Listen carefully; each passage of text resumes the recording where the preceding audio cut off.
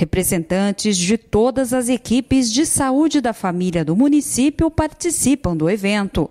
A programação da Mostra da Atenção Primária é composta por conferências, debates, rodas de conversa e apresentação de trabalhos tem sido desenvolvido um trabalho muito extenso nas diversas unidades, nos diversos bairros, onde são desenvolvidas ações de prevenção e promoção, e são trabalhos que têm tido resultados é, bem significativos, expressivos.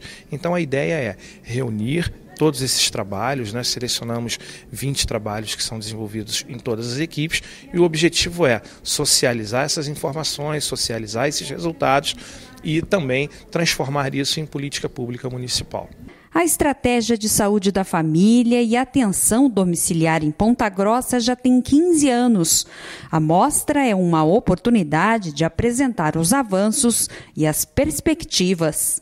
É um espaço importante de avaliar aquilo que nós estamos fazendo, né, os resultados que nós temos alcançado nesses últimos quatro anos e também discutirmos quais são as nossas estratégias para uh, os próximos anos, entendendo que a saúde pública é um processo constante de transformação e nós, gestores, temos que estar atentos a essa situação.